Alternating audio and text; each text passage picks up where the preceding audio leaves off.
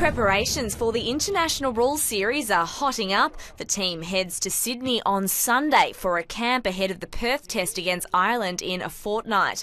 The round ball not too unfamiliar for Fremantle midfielder Nat Fyfe, who returned yesterday from a month's holiday in Europe. I was kicking it all through sort of Portugal and and, uh, and Eastern Europe and up in Scandinavia, so um, starting to really acclimatise to it, and um, it's a different technique.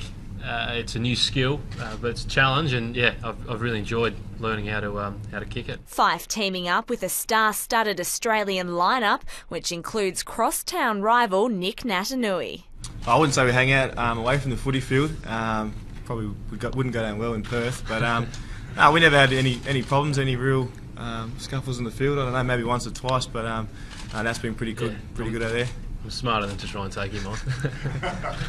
Meanwhile, the post siren kick to kick at the MCG will be back in 2015. The AFL and the MCG agreeing to trial the much loved tradition next season.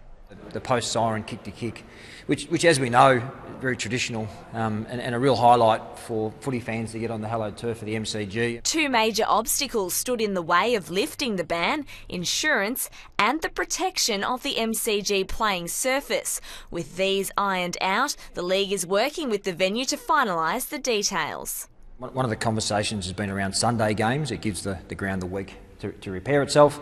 Um, it seems to make sense. Sunday is a bit of a family day um, for us, and, and so that's sort of a logical um, time slot. But we'll have to work through that detail between now and the start of the season. One thing is for sure the AFL is intent on bringing the game back to the fans next season.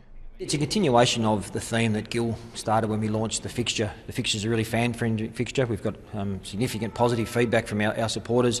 There's a whole series of initiatives we'll roll out between now and the start of, of next season that will put uh, smiles on our fans' faces. Nat Edwards, AFL.com.au.